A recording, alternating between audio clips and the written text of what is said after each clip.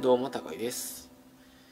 実践する人はすごい。でも継続する人はもっとすごいって話をしたいんですけど本を読む人ですら1割なんですけどその中の5人に1人が実践をする。つまり全体の2%が実践をする。これだけでもすごいね。